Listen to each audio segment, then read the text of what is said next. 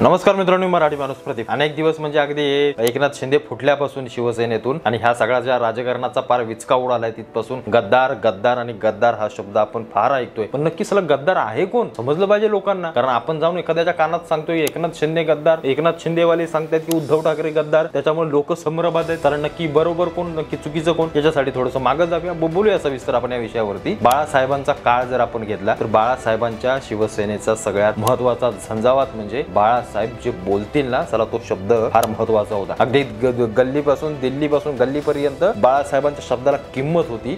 हे जे म्हणतात ना बाळासाहेबांनी काँग्रेस हात मिळवला असं काही केलेलं नाहीये. बाबा नाही जरा मागे जाऊन वाचा. त्यांचे भाषण वगैरे बघा. बाळासाहेब काँग्रेसच्या नेहमी विरोधातला माणूस होता. मी मला माहितीये मी भाषण अगदी जुन्यापासून आतापर्यंत सगळं चालून पाहिलंय. त्यांनी जो मध्ये हात मिळवला होता तो का मिळवला होता याची जरा कारण पहा. बाळासाहेब हे कट्टर हिंदुत्ववादी माणूस. बाळासाहेब हे मराठी माणसासाठी झटणारे. कट्टर म्हणजे असला कट्टर हिंदू माणूस या आताच्या घडीला आहेच नाही कोण भारतात. कोणी नाहीये. सरळ सरळ तोंडा शब्द फेक करणारी सो- सोपी गोष्ट आहे का? आता बोलून दाखवा मुसलमानांना एखाद्या भाषणातून बु- तडके भट काय करतील हे? काय करतील? बघा दंगली कशा पेटतील. बाळासाहेबांनी या सगळ्या गोष्टी केल्या. बाबरीवर आपली लोक चढवली. आणि अभिमानाने देखील सांगितलं की माझ्या लोकांनी बाबरी तोडली. त्या बाळासाहेबांची शिवसेना घेतल्यानंतर आजही एखाद्या जन्माला आलेल्या पोराचं जेव्हा त्याला कळायला लागतं तेव्हा जो बाळासाहेबांना जेव्हा पाहतो त्यांची भाषणं ऐकतो तेव्हा त्याचं रक्त सळसळून उठतं. असे ते शब्द ना असा तो माणूस आणि अशी त्यांची ती संघटना आणि ती शिवसेना एका बाजूला. आणि त्यानंतर बाळासाहेबांनी जेव्हा उद्धव ठाकरेंच्या हातात शिवसेना दिली किंवा बाळासाहेबांच्या मृत्यूनंतर राज ठाकरे तर बाहेर पडले. खरं तर ते हवे होते शिवसेनेमध्ये.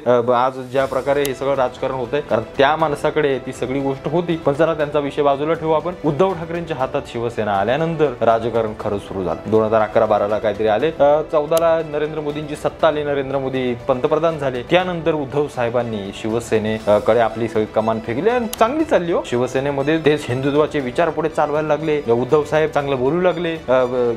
भाजपासोबत युती जे ज्या प्रकारे बाळासाहेबांनी ती सगळी आब राखली होती तशीच उद्धव साहेब देखील राखत आले. आणि अचानक या दोन हजार एकोणीसच्या निवडणुकीमध्ये किंवा आपले हे जे मागची फुटाफुटीचं हे जे राजकारण झालं अडीच अडीच वर्षाच्या मुख्यमंत्र्यांचं तेव्हा उद्धव साहेबांना भाजपवाल्यांनी डावललं. असं त्यांचं म्हणणं आहे. अडीच अडीच वर्ष आमचं ठरलं नव्हतं. तू आधी व्हायचं का मी आधी? याच्यातून उद्धव साहेब बाहेर पडले. इतक्या वर्षाची जी काही सगळी गोष्ट चालवली होती बाळासाहेबांनी ती उद्धव साहेबांनी देखील चालवली. नंतर ते बाहेर पडले फुटून त्यातून. आणि ते बाहेर पडल्यानंतर त्यांनी सगळ्यात मोठी गद्दारी केली ती म्हणजे बाळासाहेबांच्या विचाराची. बाळासाहेबांचे विचार काय होते? काँग्रेस सोबत जायचं नाही. बाळासाहेब तर शरद पवारांना म्हणायचे हा बारामतीचा ममदे आहे. इतकं इथपर्यंत म्हणायचे चला माझे मी म्हणजे मी एखादी वेळ उपाशी राहीन पण या शरद पवारांच्या नादाला लागणार नाही. असले बाळासाहेबांचे शब्द त्या उद्धव साहेबांनी आपल्या शिवसेनेची सगळी कमान आणि आपल्या शिवसेनेची सगळी सूत्र या काँग्रेसच्या मांडीला मांडी लावून शरद पवारांच्या मांडी मांडीला मांडी लावून घालवली आणि सगळ्यात महत्वाची पहिली गद्दारी उद्धव साहेबांनी तेव्हा केली. ठीक आहे? गेले तिकडे? मुख्यमंत्री झाले. मुलगा आदित्य ठाकरे पर्यावरण मंत्री झाले. म्हणजे हे काय मोठी लोक आहेत हो? आपण साली गरीबाची लोक. आपल्याला काय पर्यावरण मंत्री मंत्री सरपंच करायचं झालं तर चार वेळा बंदुका आणतात डोक्यावरती. तुझ्याकडे पैसा आहे का? तुझ्याकडे हे आहे का? या असली लोकशाही आहे ती सोडा बाजूला ती गोष्ट. या सगळ्याच्या दरम्यान काही लोक एकनाथ शिंदेचा गट आणि एकनाथ शिंदे जे धर्मवीर आनंद सोबत राहिले होते. आता धर्मवीर आनंद दिघे तुम्हाला सांगणं फार सांगणं काय गरजेचं नाहीये. त्यांच्या नावात धर्मवीर आहे. कट्टर हिंदुत्ववादी माणूस. कट्टर. भयंकर. म्हणजे कधी कधी बाळासाहेबांना देखील विचार करायला लागायचा की हा काय करतो आता पुढे ठाण्यामध्ये. इतकी कट्टरता असणारा माणूस त्यांच्या हाताखाली सगळी राहिलेली ही पोरं म्हणजे त्यांचे हे कार्यकर्ते एकनाथ शिंदे हे त्याच पक्षामध्ये मंत्री म्हणून राहिले.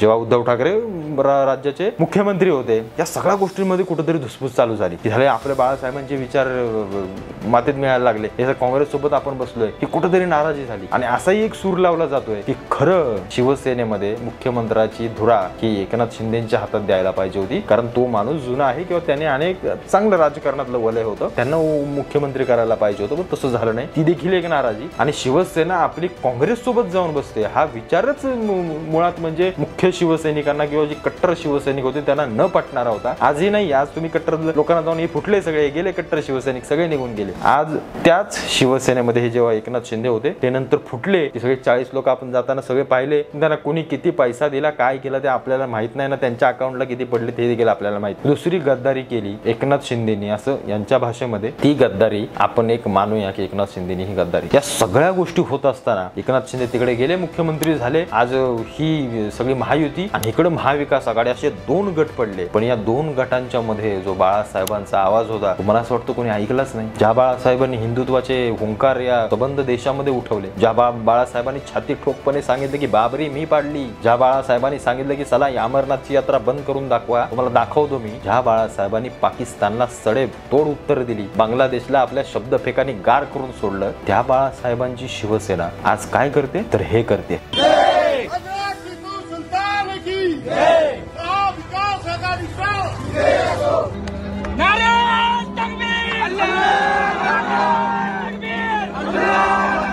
असलेल्या माझ्या देशभक्त बांधवानो भगिनी आणि मातानो.